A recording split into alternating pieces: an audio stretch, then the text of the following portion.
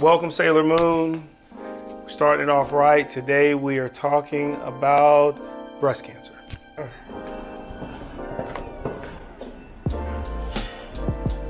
So I did a very long, involved talk about breast cancer for the PA students at UAB. It's about an hour long. It has slides, goes over pretty much everything there is to know about breast cancer that you can slide into an hour. What we decided to do here is this is pretty much a patient oriented video. So if you're looking for the deep and dirty information about breast cancer, then go to that one and I'll post it as lecture 12A or 12B or something like that. But right now we're talking about if you are a patient and you walk into an office and someone says you have an abnormal mammogram or if they say you have a breast mass, what do you do? This is the general information that you need to know. First things first, what is a breast mass? Breast mass is a nodule or overgrowth of breast tissue. These can be benign, such as a fibroadenoma, or malignant, like an invasive ductal carcinoma, which is the most common type. They can be solid, like a cancer or a fibroadenoma, or they can be cystic, like a cystic, benign cystic lesion, um, lactocele, stuff like that. Breasts normally have cysts in them from time to time, and it's not always abnormal. They can also be solid and not abnormal. The whole thing about breast cancer or breast disease is figuring out whether something is likely to be benign or malignant and then go from there. Now, from a patient standpoint, you're looking at is the mass look like this, feel like this, does it do this, does it not do this? These are pretty much all the things that we look for in symptoms. Soft versus firm versus hard. That gives us an idea as to whether or not it's a fibroadenoma or just dense breast tissue or cancer. If there's redness, it's an infection, maybe it's an uh, inflammatory breast cancer. Mobile fixed, again, fixed cancer, mobile fibroadenoma. Dimpling, such as peau d'orange, which is essentially breast cancer involving the skin that causes skin changes that we treat with usually chemotherapy first before we do surgery. Tender versus non-tender, tender mass, you consider cysts that are growing or abscesses. Nipple discharge versus retraction. Nipple discharge, if it's bloody, you sometimes worry about cancer in that situation, but not as much. Um, versus a green discharge is usually an infection. Creamy discharge infection. Retraction means something is pulling the nipple backwards, which sometimes is a sign of cancer. And then there's a change in size. No two breasts are the exact same size unless my brother Marcus Crawford, Atlanta Plastics, he had a reality TV show, but Crawford Plastic Surgery, unless a plastic surgeon puts them in, they're not going to be the exact same size. And even plastic surgeons usually don't make them the exact same size just because it looks unnatural but they're all different. But if you have a B and a C and you turn up with a B and a D a couple of days later, then we have to start looking at stuff.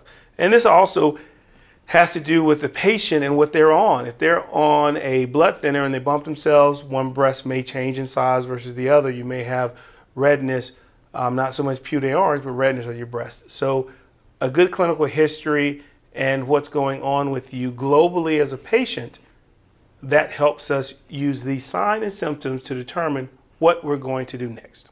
Now, once you see the physician in the office, I'm going to ask you a couple of questions.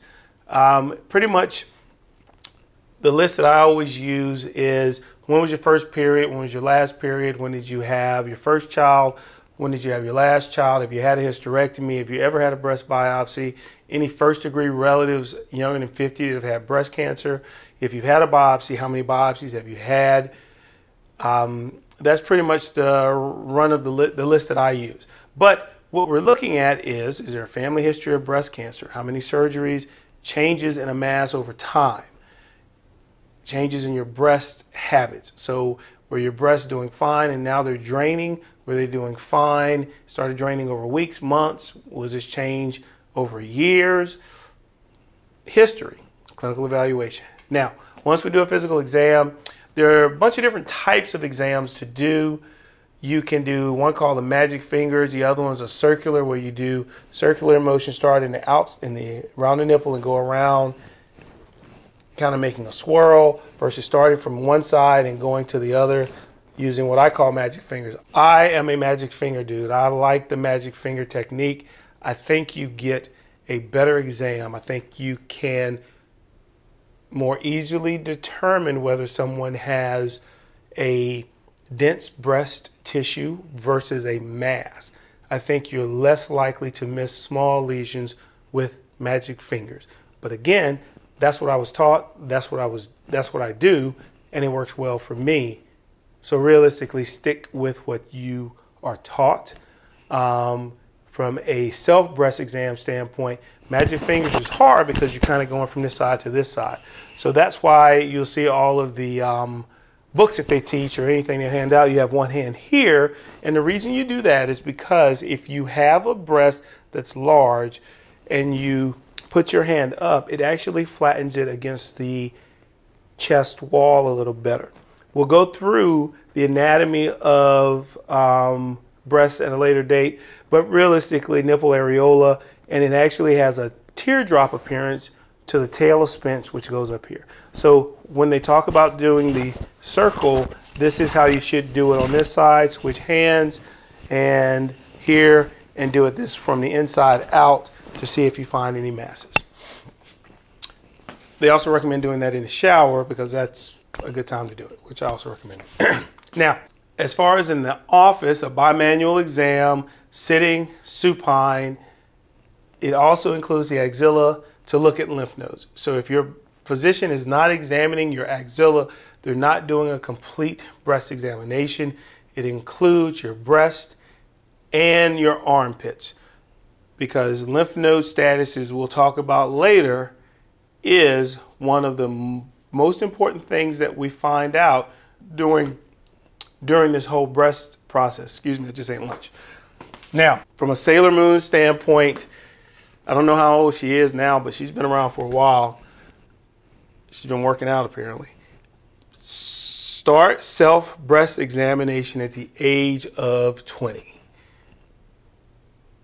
That's almost at the time when women are starting to finish puberty.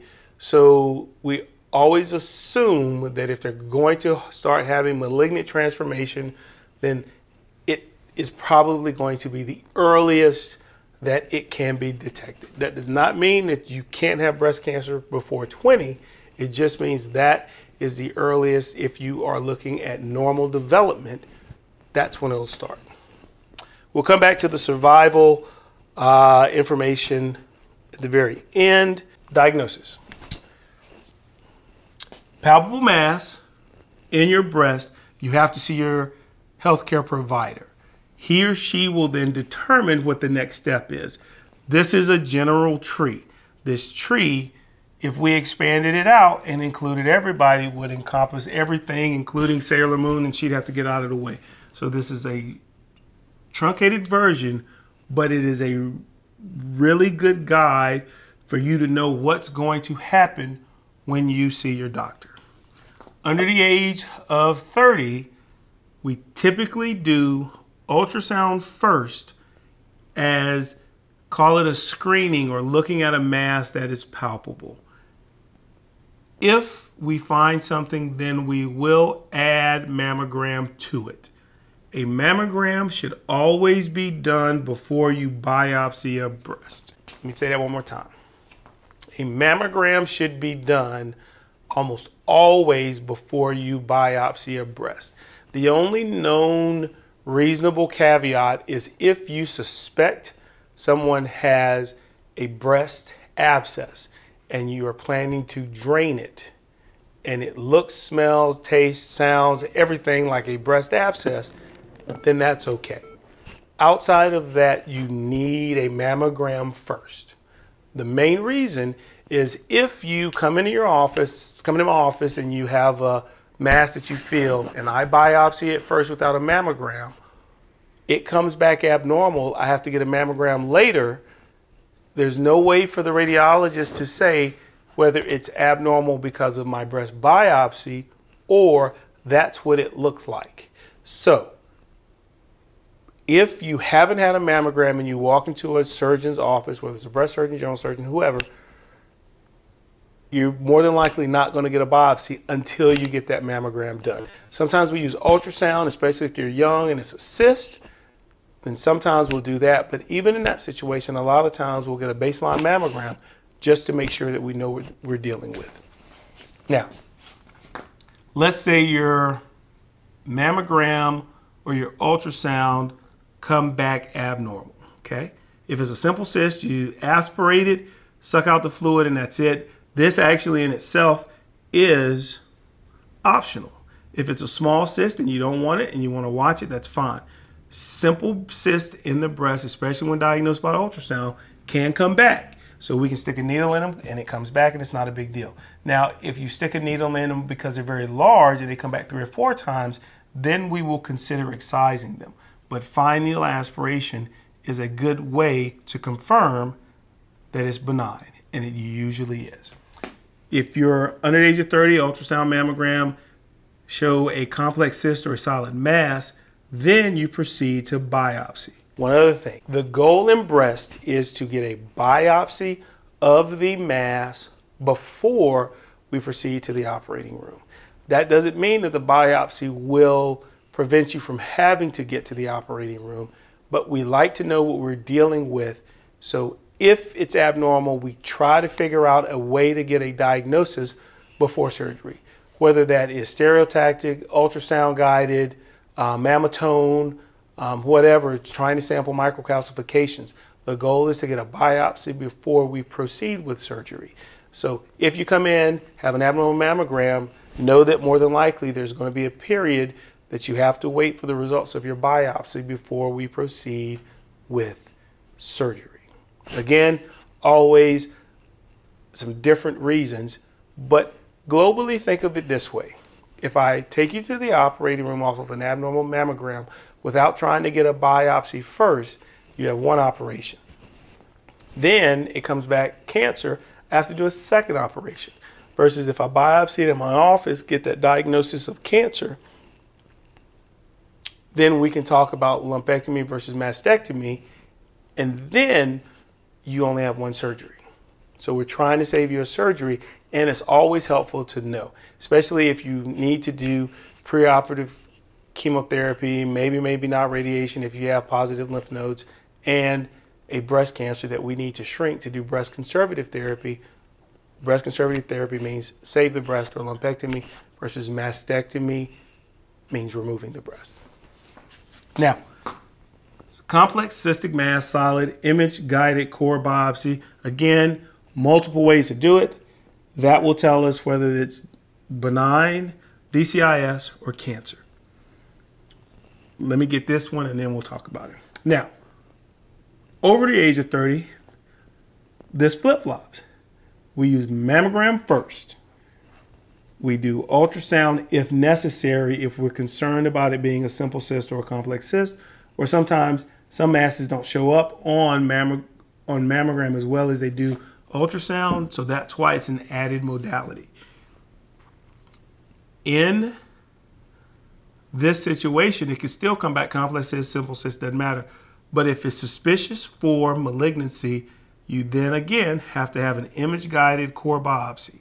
So these two join back to one at this point. Now, a couple things about mammograms.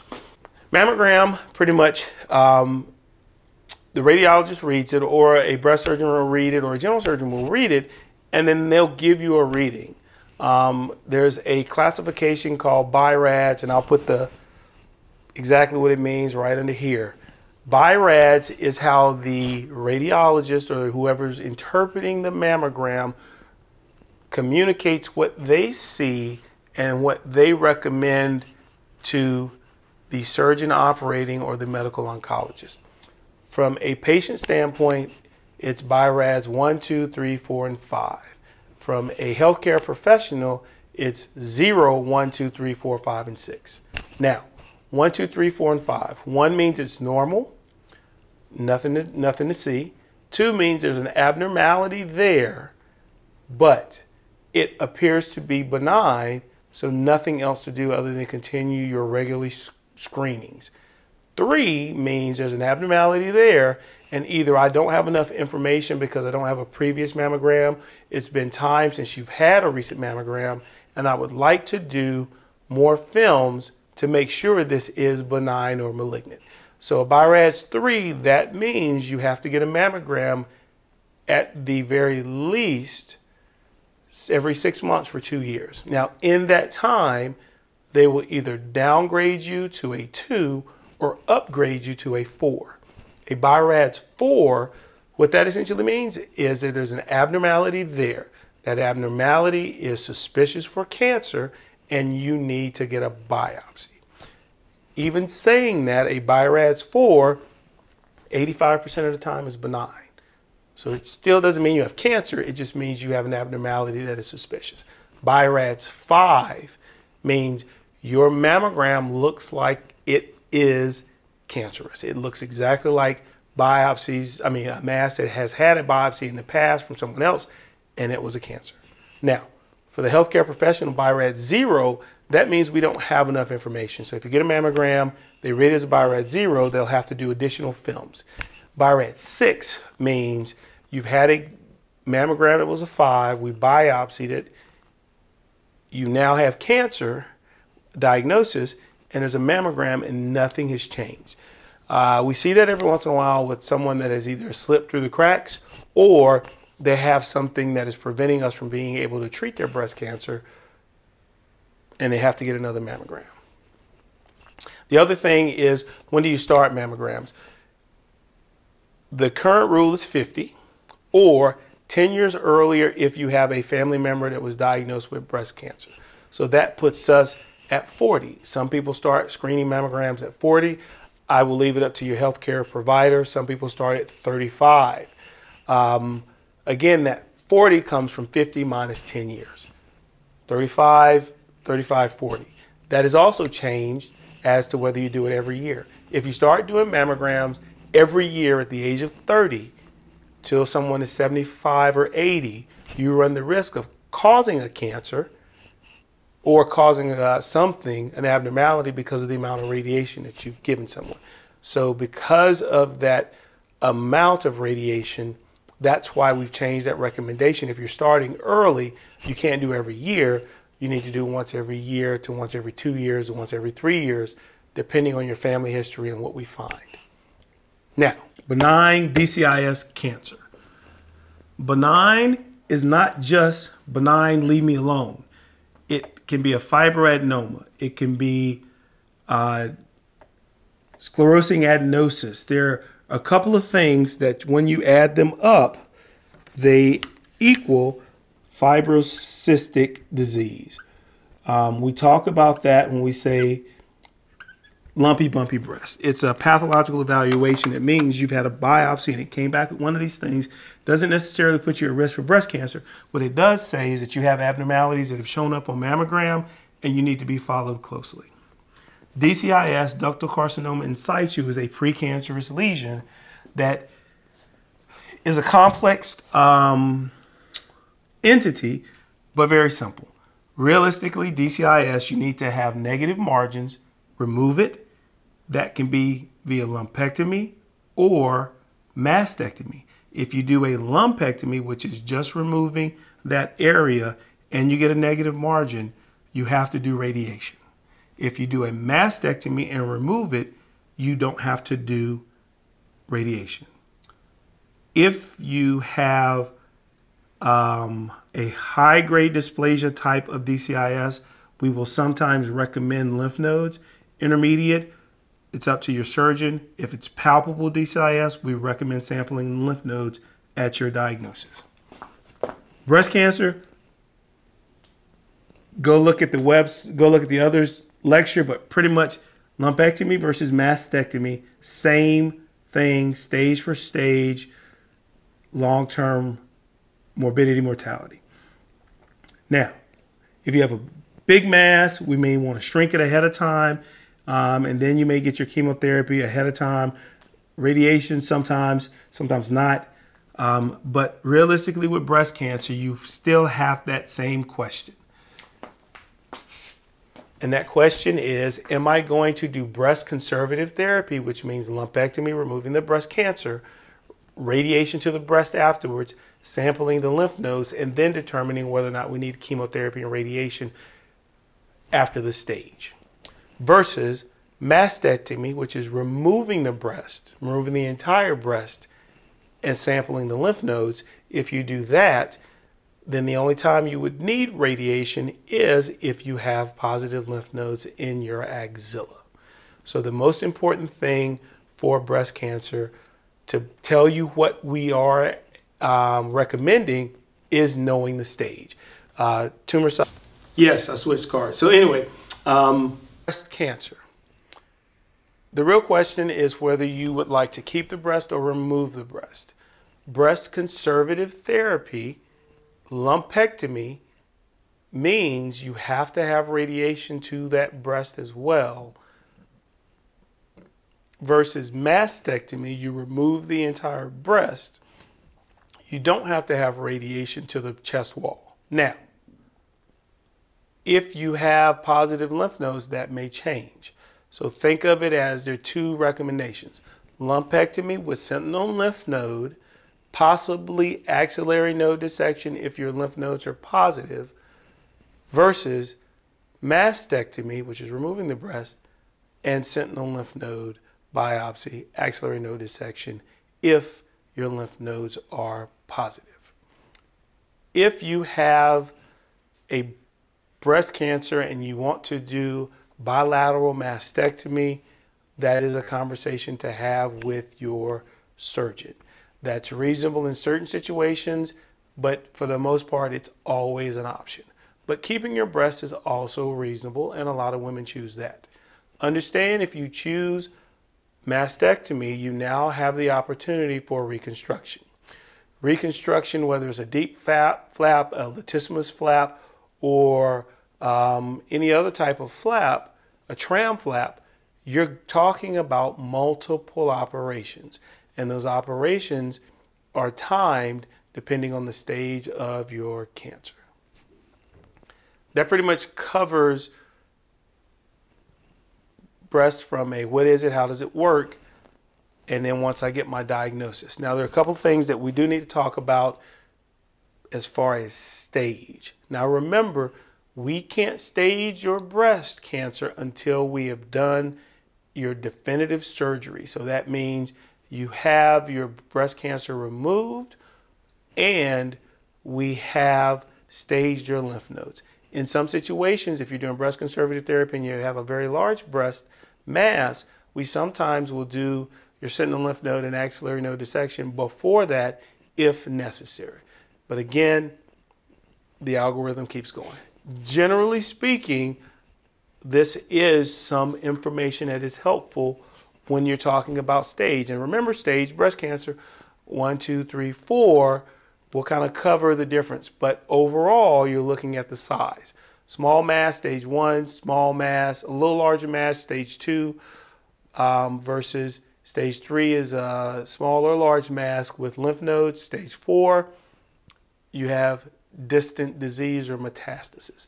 But I'll put a little information and something at the very end of the video that kind of talks about stage um, and it'll give you a lot of good information. Now, as far as survival, here we go. The five year survival of non metastatic invasive breast cancer, that's an early breast cancer without positive lymph nodes, is around 90%. DCIS by itself actually has a survival usually about 95%. So 90% of people will be alive in five years with a non metastatic invasive breast cancer. Once you start adding regional lymph nodes, you can see that drop off. Now, this is an early, this is a late stage one, stage two. This is a little different, but remember this range goes from 86% down depending on how big the mass is, how many lymph nodes are involved, versus a stage four Five year survival, distant metastasis, 28%. So that means three fourths of the women that are diagnosed with metastatic breast cancer will not make it to five years.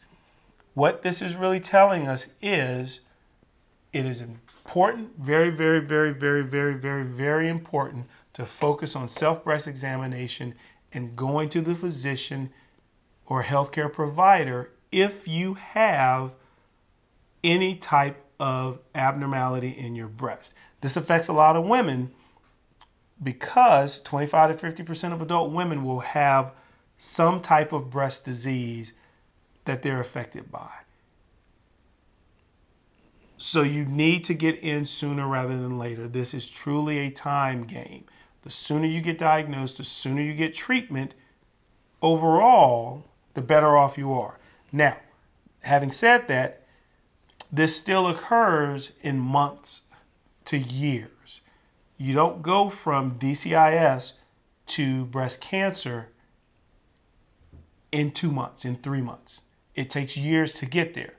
So you have time after you're diagnosed to get adequate treatment. So it's not, oh, I got breast cancer, I need you to do surgery tomorrow. Um, we have time to make sure that you get the appropriate procedure, but we first have to get diagnosed. So prior, if you have a problem, just go see your healthcare provider. They will get you taken care of. Now, there are a couple things that we didn't cover. The biggest thing is MRI. MRI is used as a modality in addition to other things. Now, some providers use MRIs for dense breast tissue because we can't screen with adequate mammograms. That's reasonable. The only approved reason to use an MRI of the breast is if you have a woman that presents with lymph node positive disease, but we don't have a primary. Again, you have positive lymph nodes for breast cancer because to go to biopsy, but we don't know where the primary is. That is the one reason that your insurance will pay for an MRI. Everything else, it's really kind of like cooking a cake. Your breast surgeon may say, Well, I want to get an MRI to look at the other breast. Just because they want to get it doesn't mean your insurance company is going to pay for it.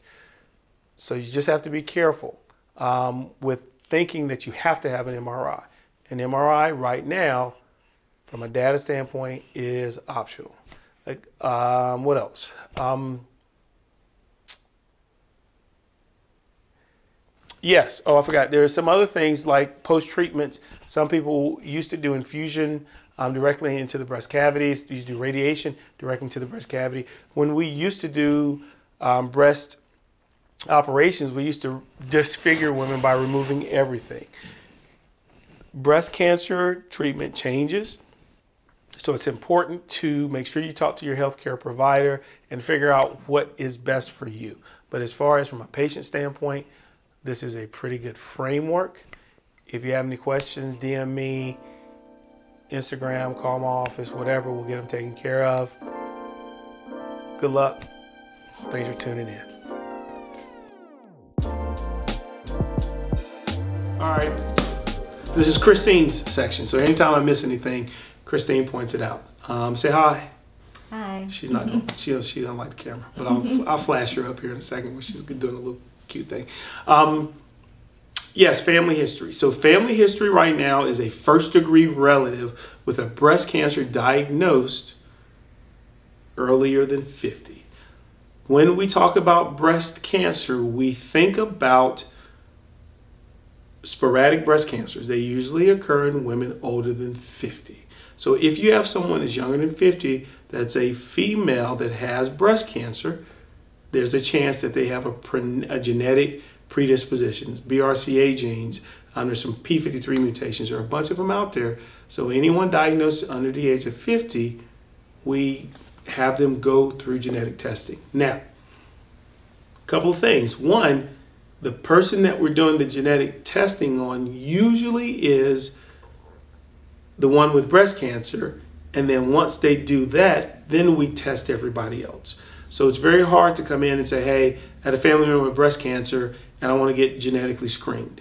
It's a history and physical, but we need the person that has breast cancer to get tested first, simply because there are a lot of different genetic predispositions for breast cancer and we need to know which one we're looking for in order to just screen everybody. Now, that is changing, and some of the common ones like BRCA genes we can test for. But again, if we're going to tell you whether it's your risk for a family history of breast cancer, we need to test that person. And traditionally, it's under the age of 50 when they were diagnosed. Another thing is male breast cancer. We didn't touch on it that much, but the, the male breast cancer algorithm is pretty much the same for the women. The symptoms are the same. It's something that we have to keep in the back of our minds, and the age is about the exact same. Stage for stage, they, they perform about the same. Having said that, it's not as common. Um, benign lesions of the breast in men typically are more common than men, than, than um, are more common than cancer, excuse me. And also, just because you have something on your breast doesn't mean it's cancer. We have skin over our breast, so seborrheic keratosis, actinic keratosis, sebaceous cysts, abscesses, melanomas, all of those things can also occur on the skin over the breast. Is that it, Christy?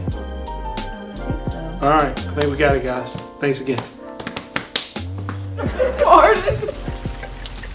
Ain't nothing wrong with thunder with the rain.